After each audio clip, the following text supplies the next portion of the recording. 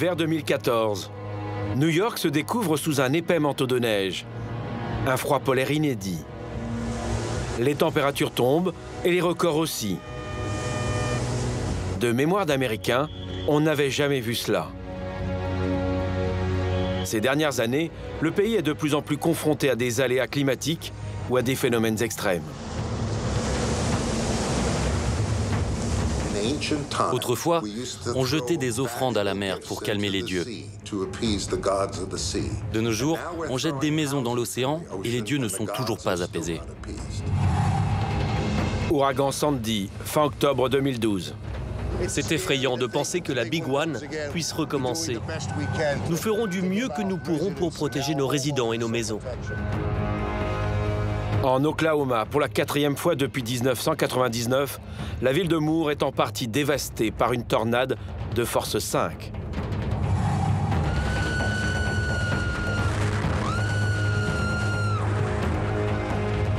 Au milieu des États-Unis, il y a une zone que nous appelons l'allée des tornades. L'Amérique fragilisée. Les dieux sont-ils tombés sur la tête?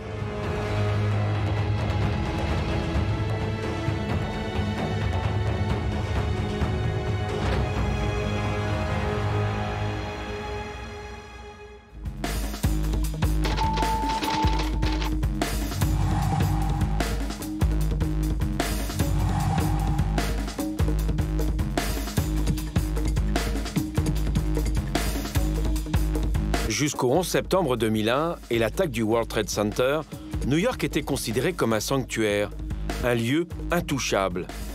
Si les autorités américaines ont mis les moyens pour empêcher toute nouvelle attaque terroriste, ils font désormais face à une menace plus difficile à contrer. Une menace venue du ciel. Elle peut frapper à n'importe quel moment, comme ce fut le cas en 2012. Sur toutes les télévisions du pays, les programmes sont interrompus. On suit alors, minute par minute, ce qui est présenté comme la pire catastrophe pour la côte est des États-Unis. Nous sommes le 29 octobre 2012. This is CNN breaking news.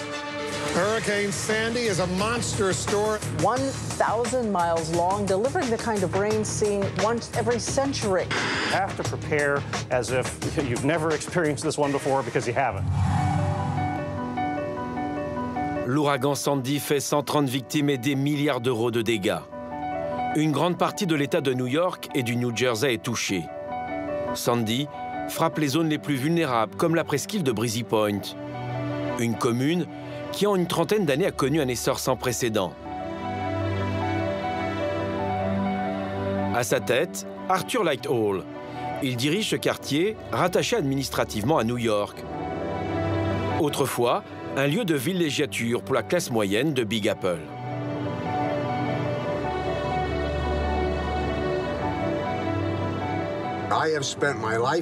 J'ai passé toute ma vie dans cette communauté.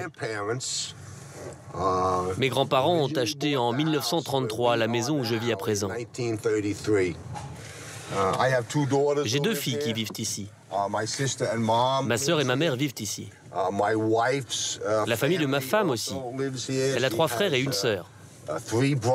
Tout est très familial.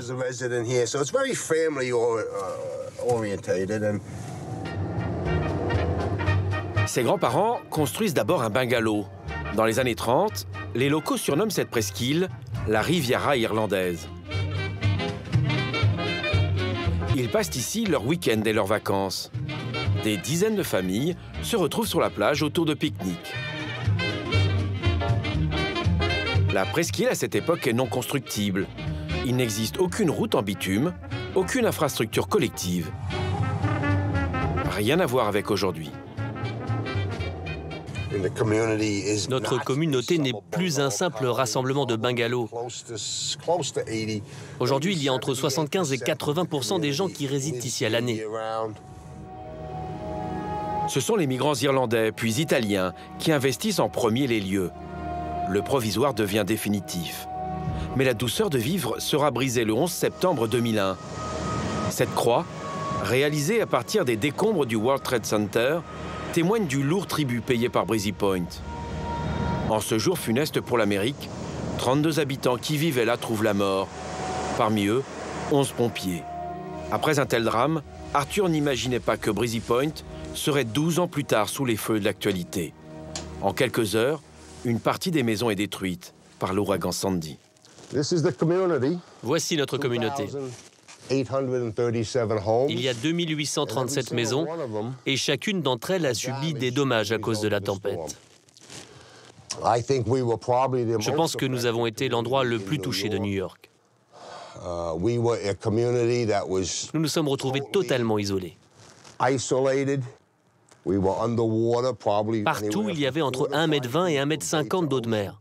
Uh, uh, il n'y avait plus d'électricité, plus de gaz. Le téléphone ne fonctionnait plus. Et sur toute l'étendue de la ville, il n'y avait plus d'eau courante. Uh, Pendant un peu plus de trois semaines, c'était une ville fantôme.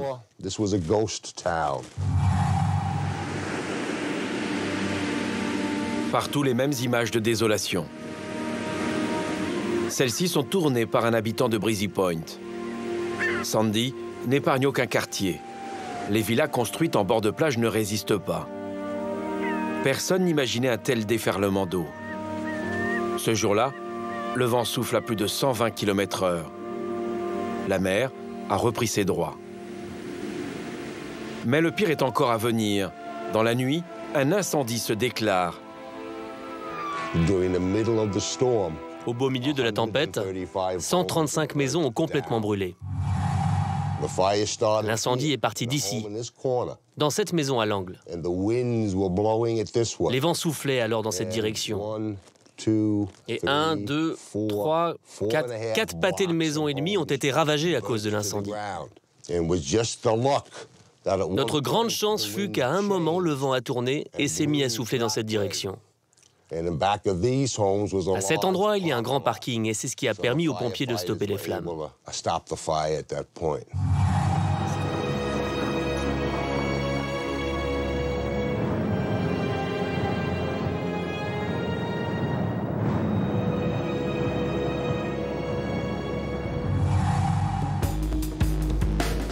Plus loin, de l'autre côté du pont, les habitants n'ont pas été épargnés. Vu du ciel, le quartier semble intact. Mais 18 mois après le passage de l'ouragan Sandy, des familles entières ne peuvent toujours pas regagner leur domicile. La fille d'Arthur Lightroll vit aujourd'hui avec son mari et ses deux enfants chez ses beaux-parents. Elle attend un nouveau bébé. Elle revient là où elle avait cru pouvoir passer des jours tranquilles.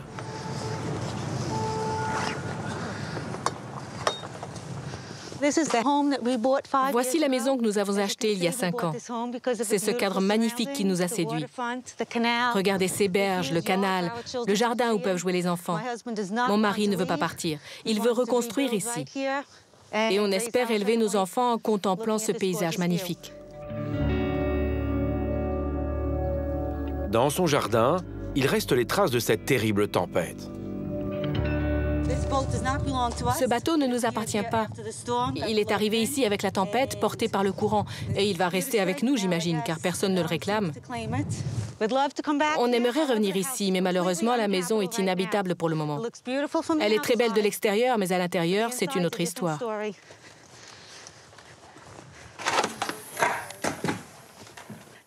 Voici la maison que nous avons achetée, mon mari et moi, il y a cinq ans, quand on s'est mariés. Ici, c'était le salon. Comme vous pouvez le constater, il y avait presque un mètre d'eau. On a dû enlever l'isolation et les câbles électriques pour ne pas que ça moisisse. La seule chose qu'on a pu sauver, c'est la table de la salle à manger. L'eau s'est infiltrée partout. Regardez, l'eau est montée jusque-là. Presque là où l'isolation s'arrêtait. Tout ce qui était dans la cuisine a été détruit.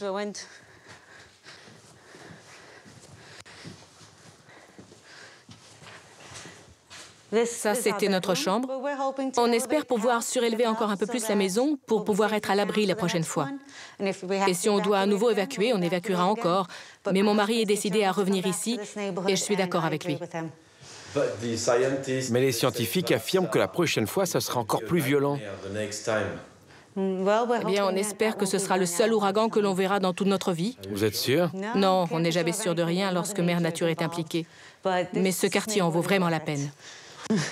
Faute de moyens, Christine attend que sa police d'assurance prenne en charge la totalité des frais liés à la reconstruction de sa maison. Cela fait près de deux ans qu'elle patiente. À Breezy Point, les travaux se poursuivent. Les propriétaires les plus fortunés prennent en charge une partie de la facture. Le reste est payé par leur assurance. Une facture plus salée que prévu, car les habitants, pour toute villa reconstruite, doivent respecter des règles désormais bien plus contraignantes.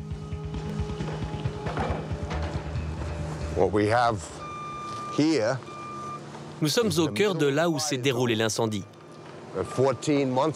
Il y a 14 mois, c'était le chaos ici. Mais comme vous pouvez le voir aujourd'hui, c'est un gigantesque chantier. Plus aucune villa ne peut aujourd'hui être construite à Breezy Point. La mairie de New York refuse de donner de nouveaux permis. Mais ces mesures seront-elles suffisantes en cas de nouvelles tempêtes? Le plancher de cette maison est à présent à environ 1,40 m du sol. Pendant la tempête, il y avait plus de 90 cm d'eau. Cette différence nous offre une protection supplémentaire contre les dommages. Vous pouvez aussi constater que les fondations de la maison sont ouvertes. Ceci permettra à l'eau de s'écouler sous la maison.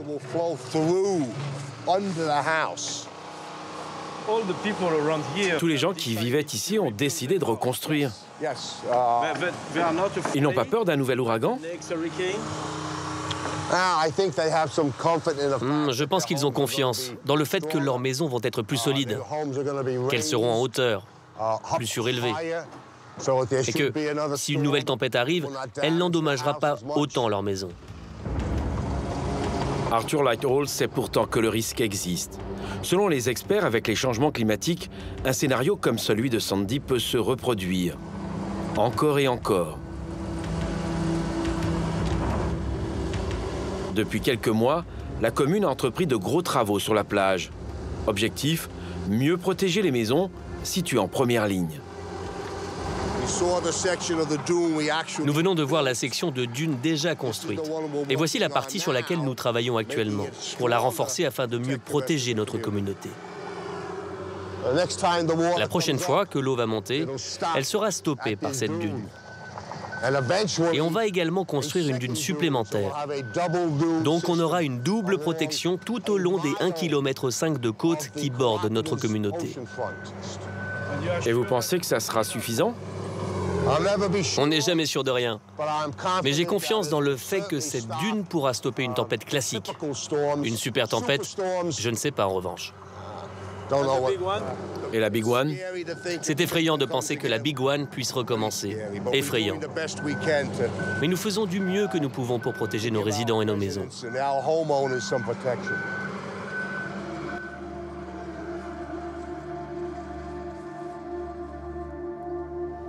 Vu du ciel, les dunes paraissent dérisoires. Deux monticules pour protéger une commune de près de 10 000 habitants. Et ce n'est pas qu'une vue de l'esprit, c'est le sentiment des experts que nous avons rencontrés lors de cette enquête. Ce survol du littoral montre à quel point la zone est vulnérable.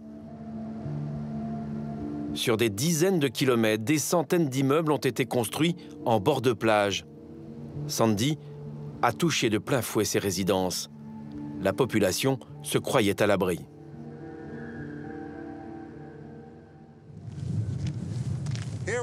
Nous sommes ici sur la plage de Rockaway, au sud de New York, un des endroits les plus touchés lors du passage de Sandy.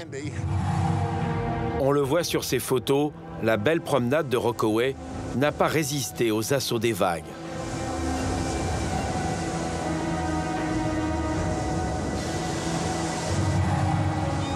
Nicolas Koch est le premier à avoir imaginé qu'un tel drame pouvait se produire ici. Vous pouvez voir là-bas quelques travaux de restauration. Le devant de ces immeubles a été reconstruit et de ce côté, vous pouvez voir les ruines de la promenade qui a été totalement détruite par les vagues lors du passage de Sandy.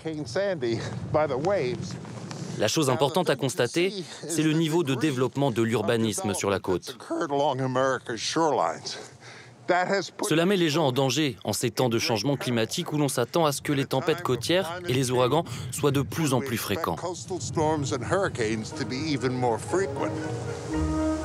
Pour éviter une nouvelle catastrophe, les autorités ont construit des dunes de sable.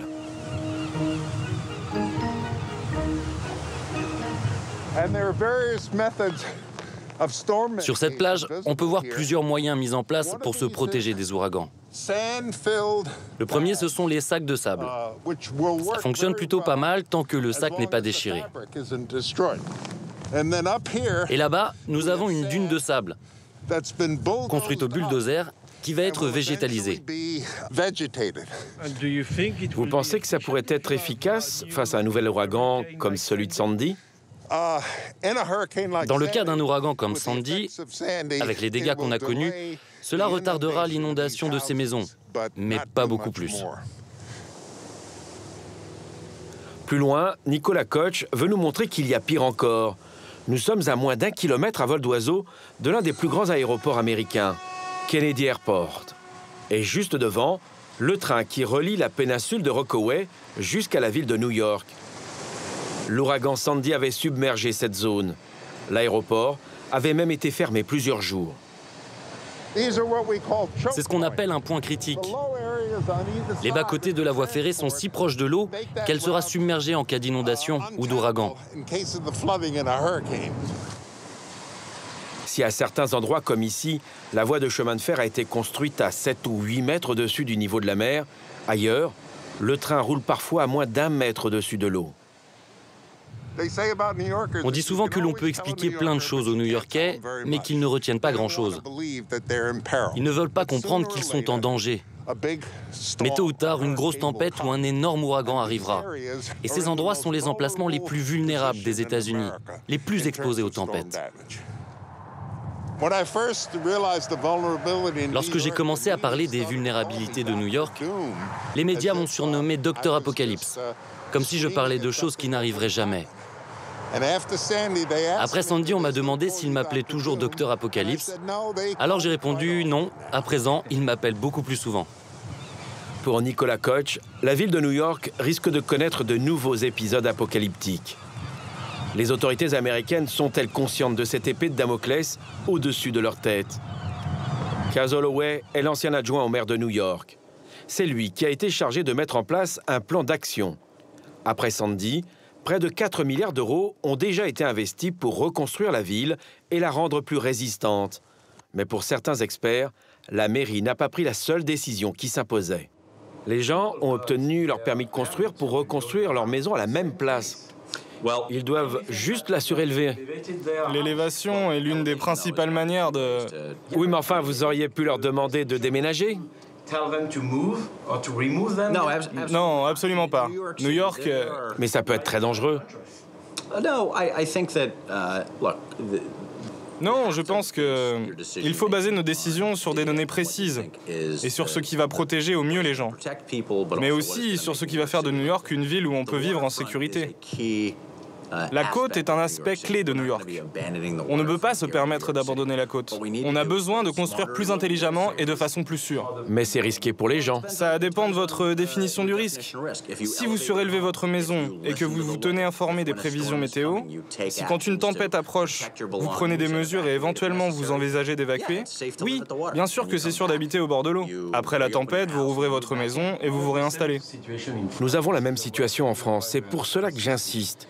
Les gens qui vivent sur le littoral savent que c'est dangereux, mais ils restent. Mais c'est de la responsabilité des politiques que de leur dire de bouger parce que c'est dangereux. Écoutez, on a fait le tour de la question.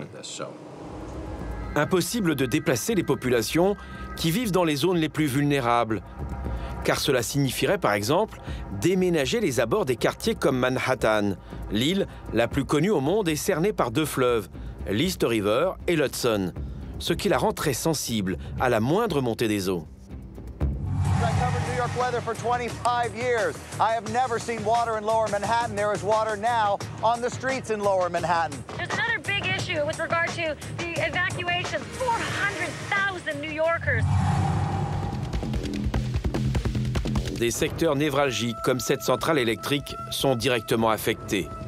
Située au bord de l'East River, elle permet à quelques centaines de milliers d'Américains d'être éclairés et chauffés.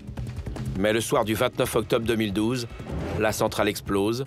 C'est le blackout.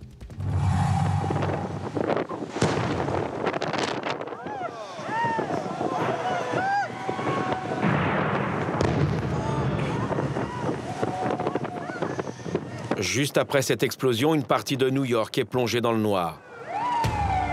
Près de 900 000 personnes sont privées d'électricité. La bourse de Wall Street, le poumon économique de l'Amérique, ferme ses portes pendant trois jours.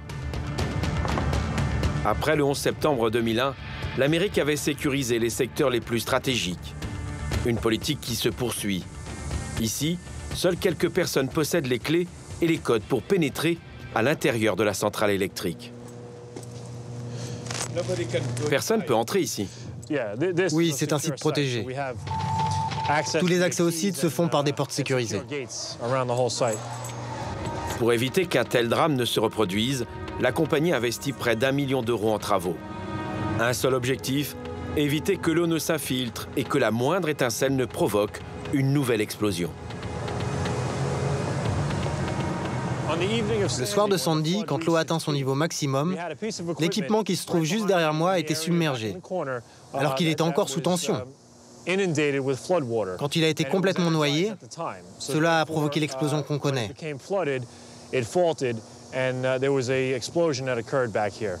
Le nouvel équipement a été construit sur une plateforme. Il est donc au-dessus du niveau d'inondation. Et nous avons fait de même pour tous les équipements qui ont été remplacés après Sandy.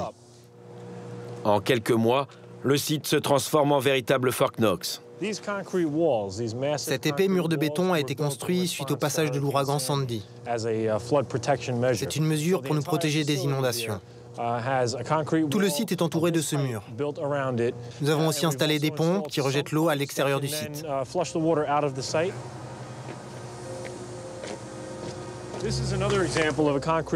Voici un autre exemple de mur en béton destiné à protéger nos équipements, en particulier ceux qui sont sensibles. Nous avons donc opté ici pour un concept de double protection. Il y a un mur en béton qui encercle l'usine à l'extérieur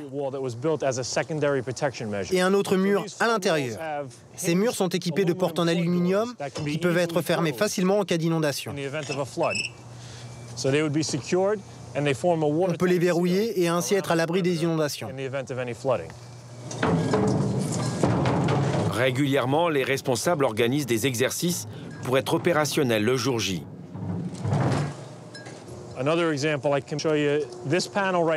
Regardez un autre exemple. C'est le prototype d'une armoire électrique. Nous l'utiliserons peut-être dans quelques années. On peut la surélever grâce à une manivelle. Si par exemple sa hauteur normale est celle-ci,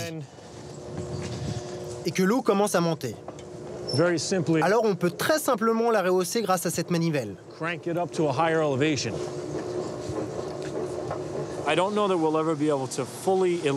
Je ne pense pas que l'on puisse totalement éliminer tout risque, surtout lorsqu'il s'agit de catastrophes naturelles. Mais je peux affirmer que nous avons renforcé nos équipements de manière significative uh, contre tout événement comme un ouragan de type Sandy. Par le passé, New York City a déjà été frappé par de violentes tempêtes. À chaque fois, la ville a oublié. Amnésie collective. L'ouragan Sandy a-t-il fait l'effet d'un électrochoc Peut-être. Mais ce type de phénomènes extrêmes ne peut que se reproduire. Pour les experts en changement climatique comme Nicolas Koch, il n'y a là aucun doute. La côte est des États-Unis est très vulnérable. Pire, c'est l'une des plus fortement peuplées du pays. Nous sommes retournés le voir à l'université. Pensez-vous qu'un autre ouragan pourrait frapper New York encore plus gravement que Sandy? Selon les experts, il ne fait aucun doute qu'une énorme tempête frappera à nouveau l'Amérique du Nord. Elle frappera quelque part entre Long Island et New York, causant de nombreux dégâts jusqu'à la Nouvelle-Angleterre. La Big One est encore à venir. Aujourd'hui, le professeur Nicolas Koch n'est plus seulement écouté par ses étudiants, les autorités le consultent, mais lui continue à s'interroger sur la réaction des populations. L'Amérique est une démocratie. En Russie, le Kremlin aurait dit ⁇ Allez, tout le monde doit évacuer ⁇ Mais aux États-Unis, chacun est libre de faire ce qu'il veut. Et les gens ne veulent pas y croire. Ils ne voulaient pas croire que Sandy pouvait arriver. Ils ne voulaient pas croire aux inondations. Ils ne voulaient pas croire que 250 000 voitures pourraient être détruites dans New York. Ils vivent au pays des rêves. Et ça n'est pas très réaliste. Ce que je veux dire aux gens qui vivent sur la côte, c'est qu'autrefois, on jetait des offrandes à la mer pour calmer les dieux. De nos jours, on jette des maisons dans l'océan et les dieux ne sont toujours pas apaisés. Les dieux sont-ils tombés sur la tête? Peut-être, car ces dernières années, les catastrophes naturelles se multiplient aux États-Unis. Ouragans, tornades, le pays n'est pas épargné. Nous partons à 2000 km environ au centre des États-Unis. Nous sommes dans l'État de l'Oklahoma, à quelques kilomètres de la capitale de l'État, Moore. C'est ici que Ben Holcomb s'est installé en 2010, un lieu qu'il n'a pas choisi par hasard. Uh, J'aime observer la puissance colossale de la nature. Il y a tellement d'énergie concentrée dans l'atmosphère. Les tempêtes me rendent heureux. Um, j'aime les éclairs, j'aime la puissance des tornades. J'aime regarder les orages supercellulaires. Je n'aime pas lorsque cela détruit des maisons, mais um, hélas, ça en fait partie. Depuis 2007, Ben Holcomb chasse et filme les tornades, et la région est l'endroit idéal pour assouvir sa passion. Uh, Je me suis réveillé un peu tard ce jour-là, uh, parce que j'avais chassé les tornades les deux jours précédents sans beaucoup de succès. La première chose que j'ai faite, c'est de regarder mon ordinateur. Et sur le site du Centre de prévision des orages, ils annonçaient que toutes les conditions étaient réunies pour les tornades. Alors j'ai décidé de partir les chasser. Sa voiture est équipée de tous les instruments pour repérer et filmer la moindre tornade qui s'abat dans le coin. En ce jour de mai 2013, avec deux de ses amis, il va vivre une expérience unique. Tornado emergency. Tornado emergency. Well, he's the one going slow. There's nobody in front of him. He's going 3 miles an hour. Go, go, go, go. Il est 15h10. Avec nous ce jour-là, il reprend la route qu'il a empruntée le 20 mai 2013 pour suivre cette tornade, l'une des plus violentes qu'ait connue l'Amérique.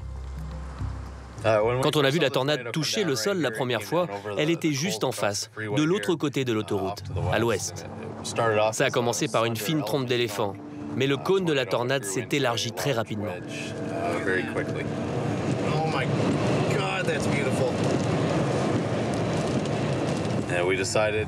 Alors on a décidé de se diriger vers l'ouest, en direction de la tornade.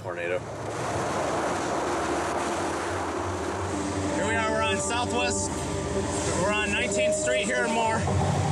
Going, going west. Watch your language. We're on 19th Street here in Moore. We're going west. There's a huge wedge on the ground. It's about ready to impact the city of Moore. Oh, yeah. There we go. Right here, right here, right here, right here, right here. Uh, on était un peu excités à ce moment-là, mais on s'est rendu compte que la tornade allait frapper la ville de Moore et que ça allait être désastreux.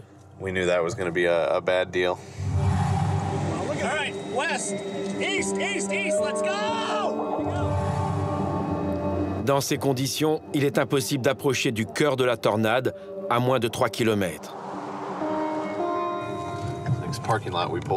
En arrivant sur ce parking, on s'est garé juste là. On voyait l'éolienne qui est juste ici. Il n'y avait pas beaucoup de vent à cet endroit, alors que la tornade était juste à côté. La tornade avait grossi et il y avait plein de débris qui volaient tout autour. Uh, lots of debris blowing into the air. Do it. Oh my God, look at that. It's huge. We can't stay here long either. Look at the tree no, fly. Debris. Dude, this is the best tornado I've ever shot. Oh my God, look at that. Oh my fucking God. Vos amis étaient dehors Yeah, you got Oui, ils sont sortis quelques instants. Yeah, we got out of the car for a second here. Oh my gosh. All right, we gotta go. go, go, go, go, get in the car, get in the car! Go, go, go, just don't stop, Bill. Don't stop, don't stop. Holy shit, lots of debris! Lots of debris! Go, go, go, go, go! Go, go, go, go, go! La tornade était juste derrière nous et l'ambiance était très tendue dans la voiture. On voulait quand même rester en sécurité, mais c'était très risqué. We're not playing four-way stop. Go! All right, go left, go left, go left. Go, go, go, go, go, go, go! Go! Go! Go! Go, go, go, go! I know this area. You need to go south? Do you think we need to go south? Okay, go, go, go. Yeah, Bill, Bill, this does not take you south. I will tell you where to turn, just drive. This is this is probably one of the hardest days of my life right now. I know. Ben Holcomb revient à l'endroit même où lui et ses amis ont filmé la tornade au moment où elle pénètre dans la ville de Moore.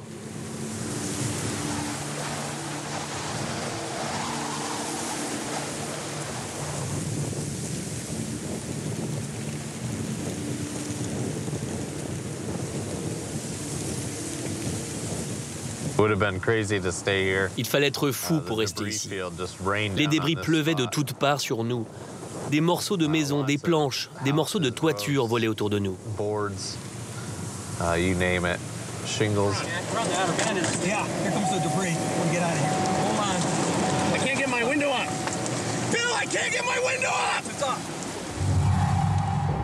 Sur cette animation, on évalue mieux la force de ce phénomène. Voici la photo satellite prise quelques jours avant le passage de la tornade. L'autre qui apparaît prise quelques jours après.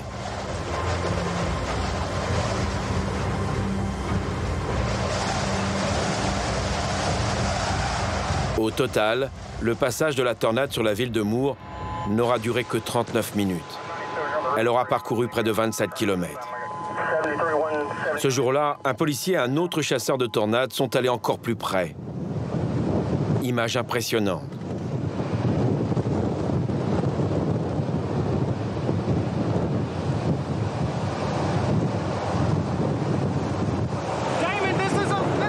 Le chasseur de tornades intervient en direct à la radio.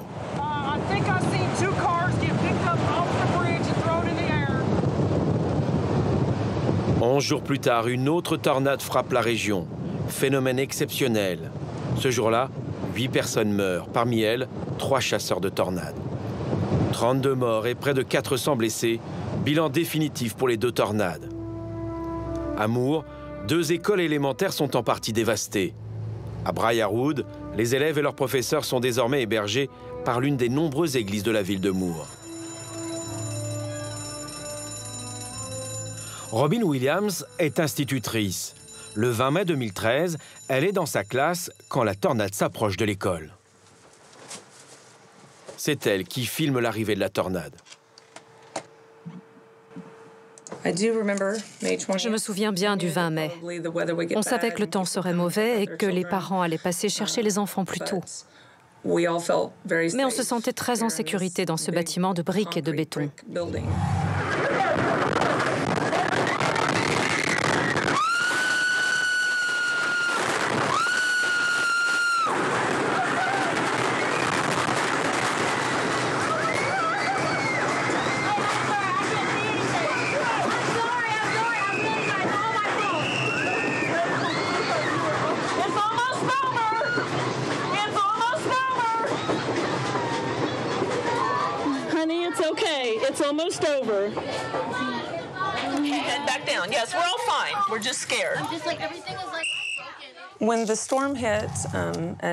Lorsque la tornade a touché l'école, um, elle est passée juste au-dessus de nos têtes. On a alors reçu la consigne de s'abriter dans les toilettes, ce qui est inhabituel. Mais comme beaucoup d'enfants étaient déjà partis, il nous en restait peu à surveiller. Et les toilettes sont vraiment au centre du bâtiment. Ce fut sans doute la décision la plus intelligente du moment, car c'est la seule partie de l'école qui n'a pas été touchée. Dans l'école, aucune victime n'est à déplorer. Mais dans un autre établissement de la ville, sept enfants de moins de 11 ans perdent la vie. Oh my God! Oh my God! Oh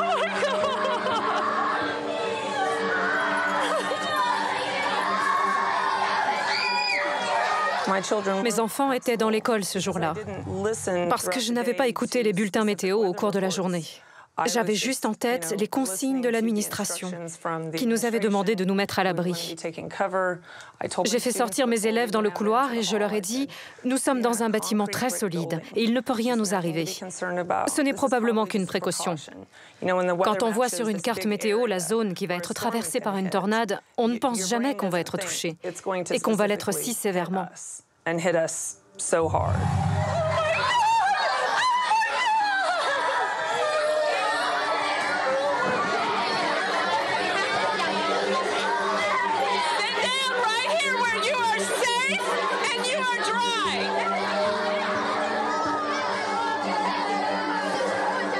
Quelques minutes après le passage de la tornade, elle retrouve ses deux enfants.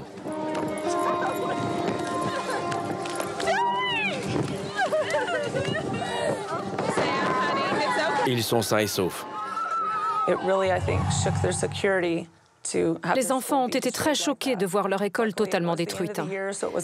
Heureusement, on était en fin d'année scolaire, donc ça n'a pas trop chamboulé les cours. Mais aujourd'hui, je pense qu'ils ne se sentent plus en sécurité. Quelque temps après, l'école a été rasée pour des raisons de sécurité. C'est une bonne chose parce qu'à présent, on va avoir une nouvelle école. C'est formidable car les enfants qui passent devant voient que le bâtiment est neuf. Ça sent le neuf quand on passe devant. Grâce à ces photos aériennes, on comprend ce que ces enfants et leurs professeurs ont vécu. Le chaos n'a duré que quelques minutes.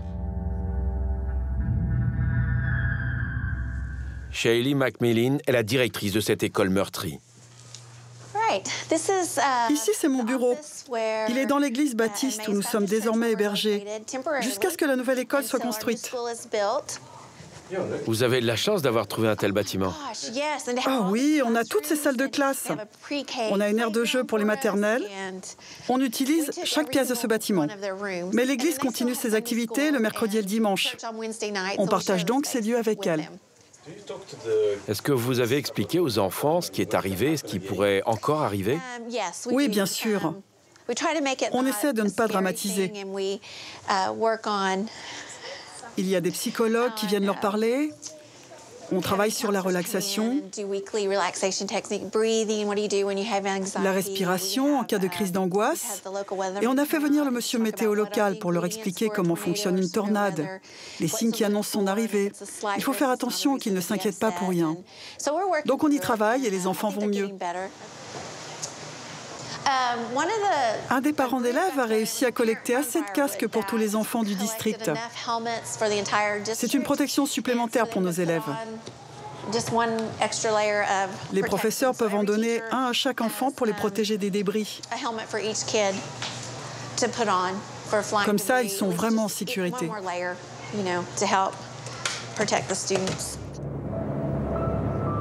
À chaque bourrasque, la population se rappelle ce cauchemar ces vents qui soufflaient à plus de 300 km/h parfois. Aujourd'hui, Moore est une ville symbole, car à quatre reprises déjà, ces 15 dernières années, elle a été frappée en plein cœur par des tornades dévastatrices. Un fléau qui, hélas, peut se reproduire. L'Oklahoma a mis en place un centre de surveillance des phénomènes extrêmes comme les tornades. Plusieurs radars sont installés sur le campus universitaire. Ils surveillent en permanence les dangers venus du ciel.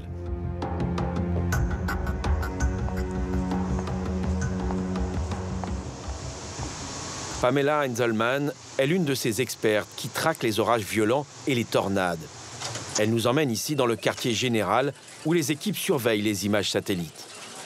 Nous sommes en mai, c'est le début de la saison des tornades. Les jours où il y a une tornade qui menace, la salle est pleine de monde. Tout le monde se réunit et grâce au radar électronique, on surveille l'évolution de la tornade. Sur cet écran, vous pouvez voir une zone bordée de lignes rouges. Nous centrons le radar sur cette zone car il y a une tempête. Elle est entourée d'un trait blanc et vous pouvez observer que les données sont mises à jour très fréquemment. Cette tempête est actuellement en train de se déplacer vers le nord-est, vers l'Arkansas. Tout cela en temps réel Oui, en temps réel.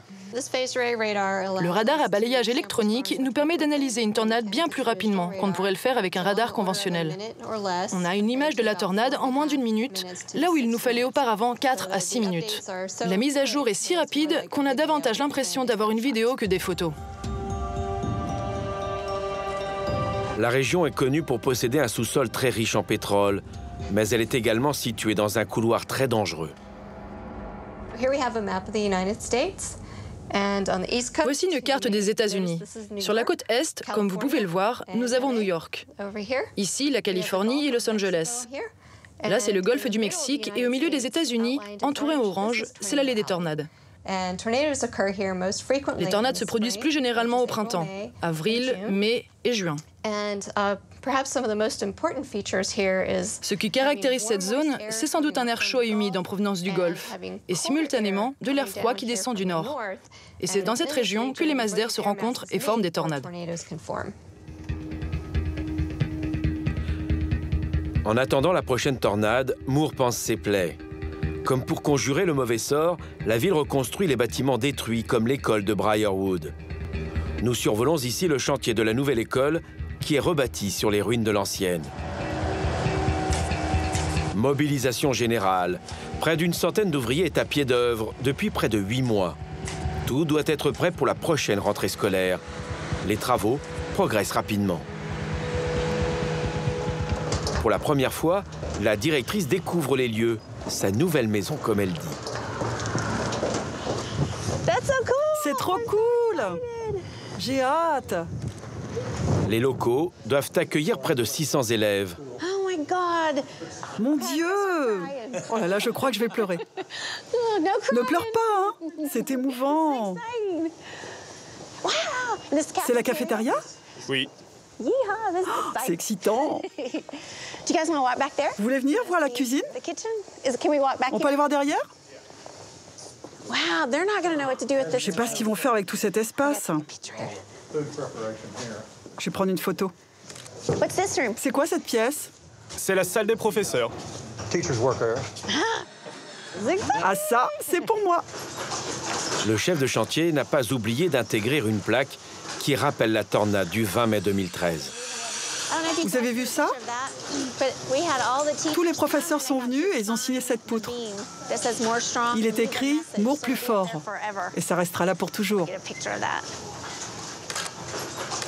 L'école est plus spacieuse, plus fonctionnelle, mais cette fois-ci l'accent est mis sur la sécurité. Les murs doivent résister à des vents de près de 400 km/h.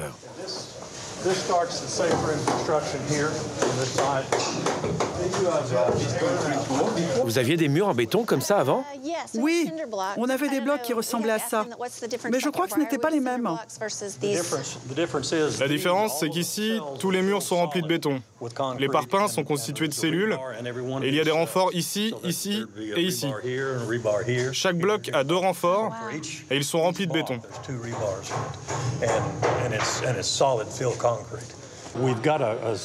On a une partie de l'école qui peut faire face à des vents extrêmement violents, comme ceux d'un ouragan. Ça va être beaucoup plus solide qu'avant. Mais personne ne peut garantir qu'il n'y aura plus de dégâts. L'architecte a également prévu de nombreux abris pour protéger les enfants et leurs professeurs. La directrice semble rassurée. Comment vous sentez-vous?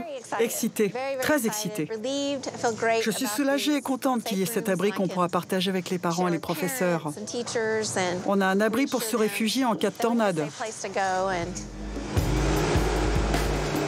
Les travaux se poursuivent. En août, tout doit être prêt.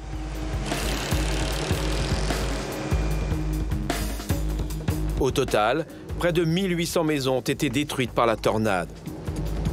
Partout en ville, les chantiers se multiplient. Dès que les assurances débloquent les fonds, les travaux commencent. Des quartiers entiers reprennent vie.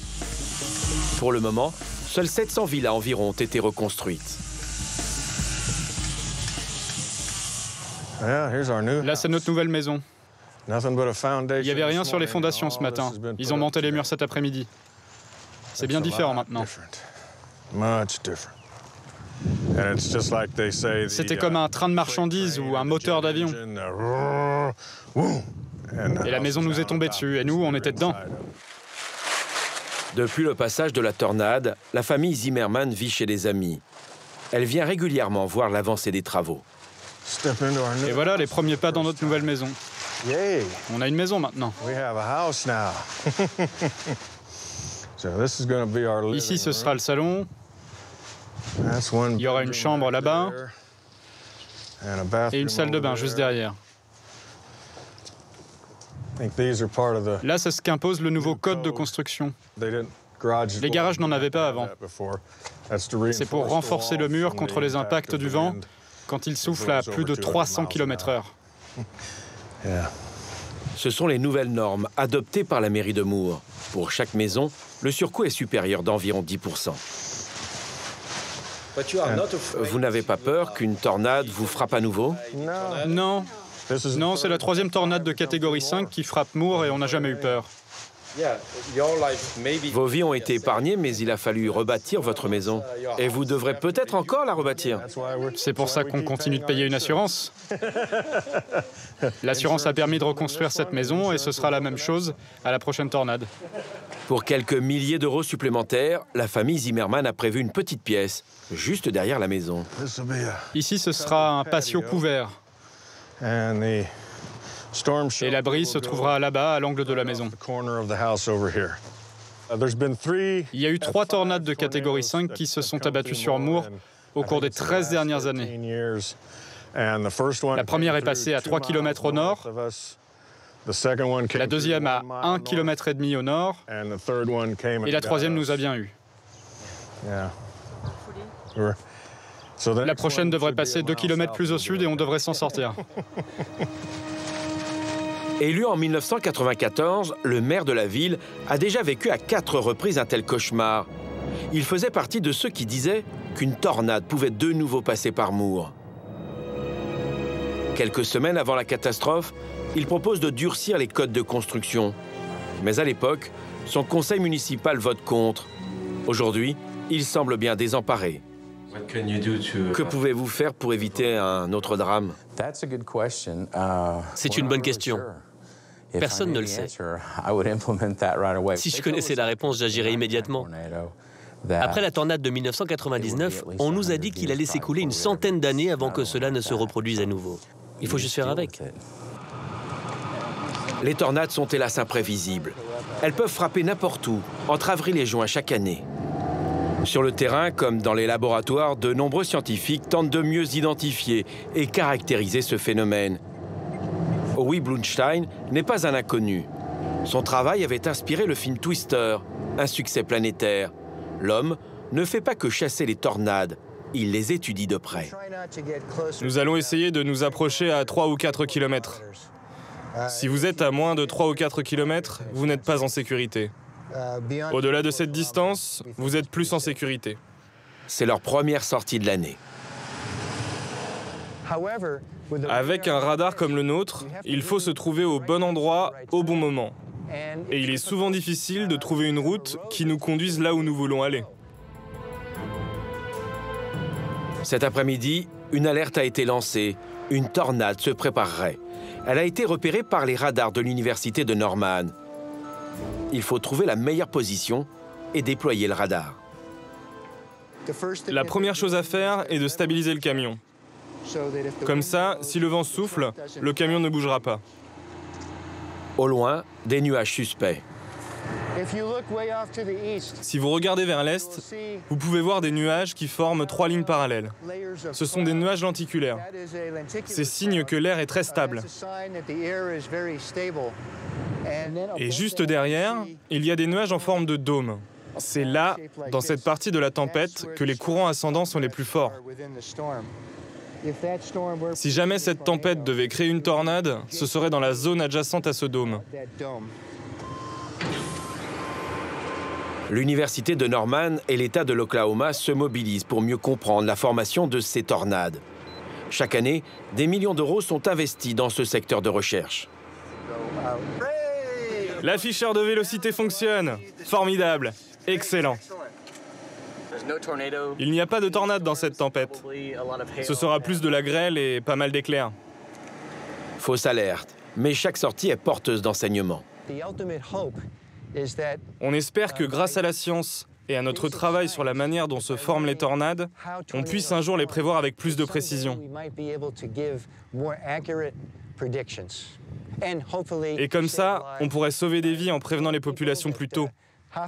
Ça leur laisserait plus de temps pour se rendre dans des abris. Un travail en équipe où chacun a un rôle à jouer.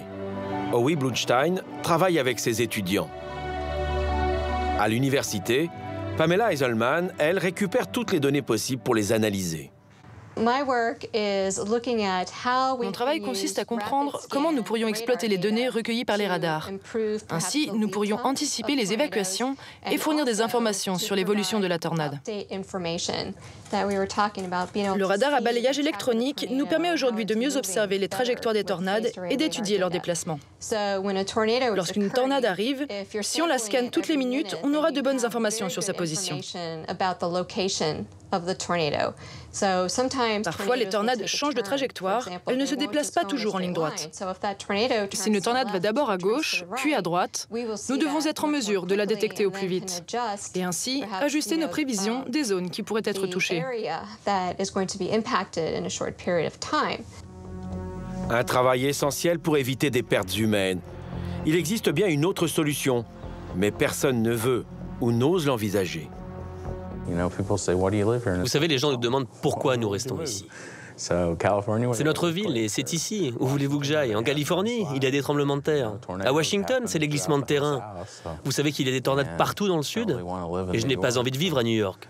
C'est notre ville et c'est ici que nous voulons vivre. À New York, quand nous avions rencontré le professeur Nicolas Koch, il nous avait confié que c'est l'ensemble des États-Unis qui est vulnérable aux catastrophes naturelles. Pour lui, c'est même le pays le plus dangereux de la planète.